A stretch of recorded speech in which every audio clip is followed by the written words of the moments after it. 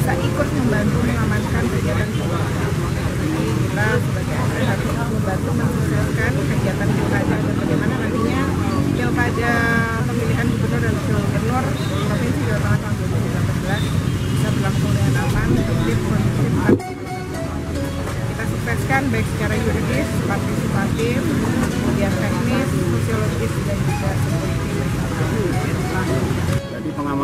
Dalam rangka Pilgub Jateng ini kita untuk khusus kepolisian Polres itu menurunkan 600 personil. Ditambah dari rekan-rekan TNI kurang lebih 150 plus Linmas tadi yang baru diserahkan kurang lebih 450 itu untuk menjaga TPS-TPS di seluruh Purbalingga sebanyak 1665 jadi hari ini logistik sudah terkirim ke masing-masing kecamatan.